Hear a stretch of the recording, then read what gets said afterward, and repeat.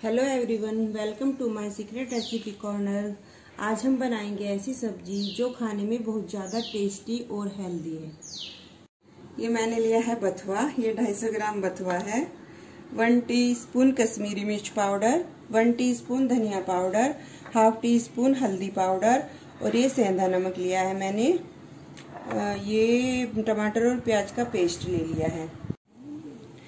दो कली लहसुन हाफ़ टी स्पून जीरा हाफ़ टी स्पून अजवाइन हाफ़ टी स्पून काली मिर्च पाउडर और ये दो हरी मिर्च जिन्हें मैंने कट कर लिया है और वन टीस्पून अदरक का पेस्ट। ये मैंने चार चार बॉइल्ड पोटैटो जिन्हें मैंने छील लिया है और एक मैगी मसाला पाउच। बथुए को मैंने चॉप कर लिया है। ये हमने एक पैन ले लिया है और इसमें दो टीस्पून डालेंगे हम ऑयल ऑयल को गर्म होने देंगे। और ये मैंने पोटैटो को गोल पीसेस भी कट कर लिया है। हम इन्हें गोल्डन ब्राउन होने तक फ्राई कर लेंगे।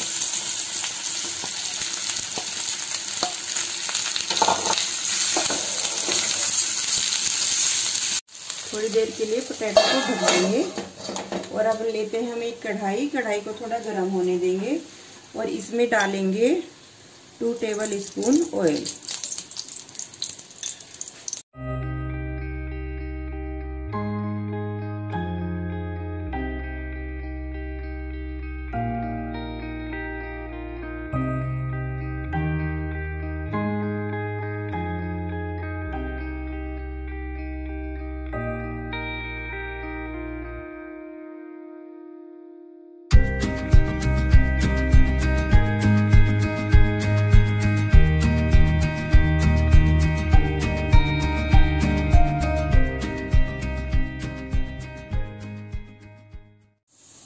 डाल देते हैं प्यूरी और अच्छे से भून लेते हैं। जब तक हमारी प्यूरी रेडी होती है तो हम अपने आलू को चेक कर लेंगे और हमारे आलू रेडी हो चुके हैं। हमारा मसाला तैयार हो चुका है। अब हम डालेंगे इसमें बथुआ और इसे पाँच मिनट के लिए भून लेंगे।